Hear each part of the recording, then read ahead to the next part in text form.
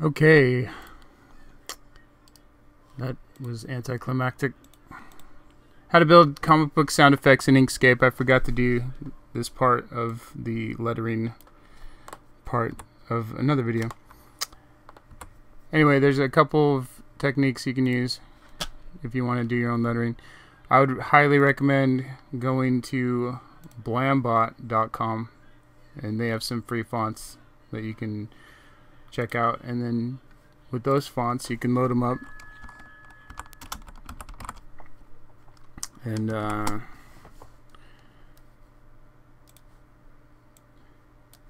you can put them in your comic. And then you can tinker around with them in Inkscape. You can change the size a little bit. You can go to uh, object to path path object to path then you can kind of select each letter and you can change it around a little bit. So you can work with existing text that's one technique.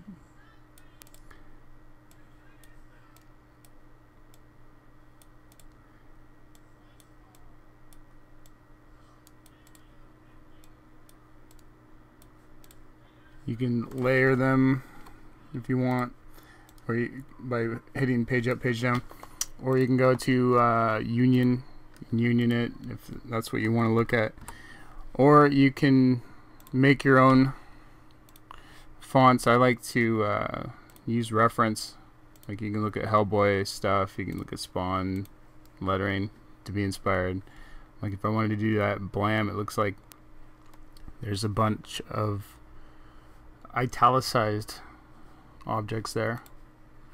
Let's see if I can do this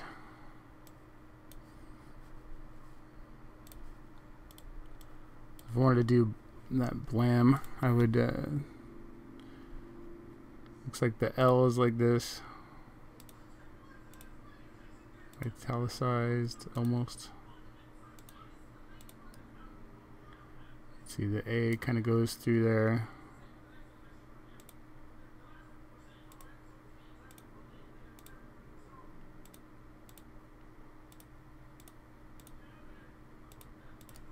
see the M goes through here.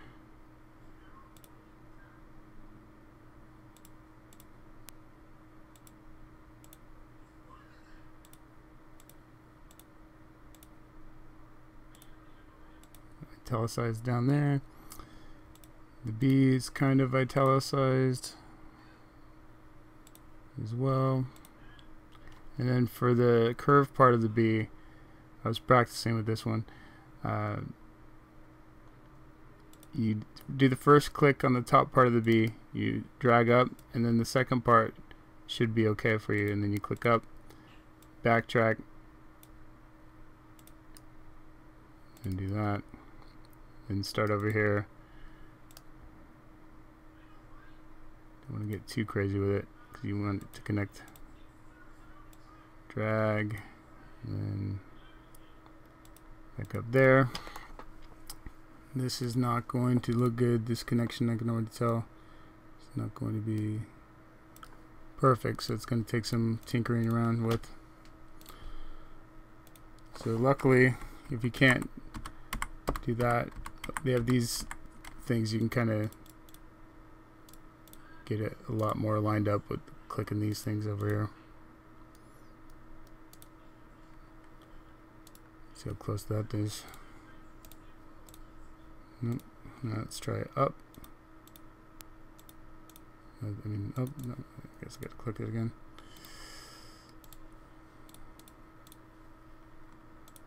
Click the point.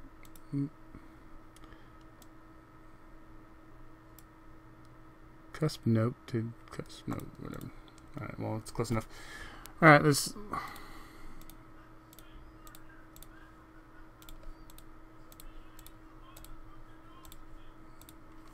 Alright, I don't know why this is doing that. I guess it's grouped. For some odd reason it groups it sometimes. There we go. Alright. See if that's a better looking bee. You can do the same thing. You uh, union it. See now it doesn't look as good, so you can always play around with it later. Like delete a node.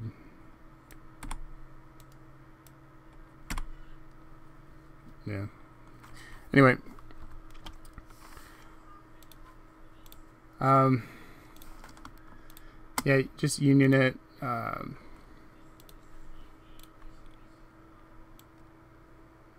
you know, tinker around with it.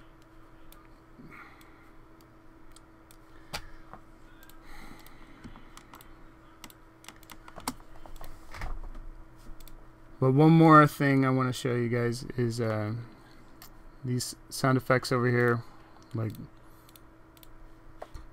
like this stuff right here. The excited stuff. You just you have to play with around with it. So like if I wanted to do like a fash like sort of sound effect or something a little more sound effecty where you don't have any uh, here, here's a technique I want to show you okay? Like you can block out these letters. Like there's a there's a letter right there. Like let's say it's going like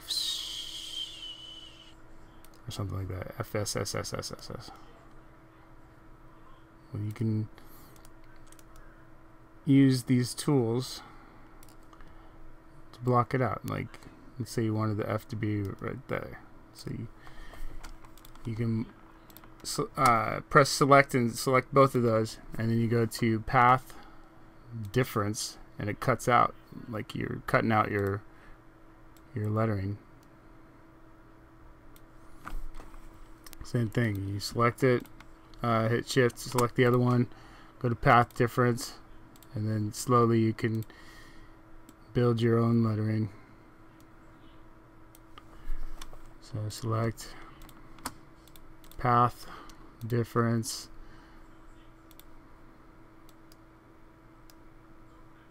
There's all sorts of neat little uh, things you can do with this program.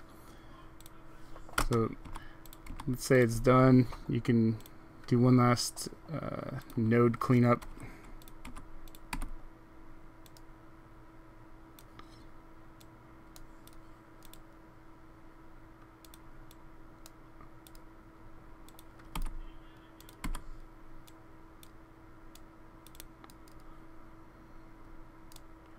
and to smooth it out even more you can go to path simplify, which is Control L.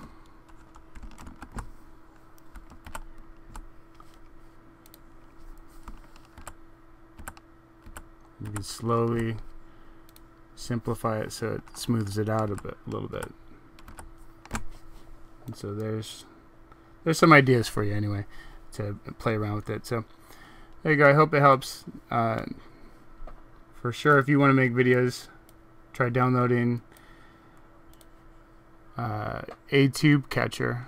And uh, thanks for watching my video. And if you like it, hit like. And uh, if you're not a robot, like it. Thanks. Bye.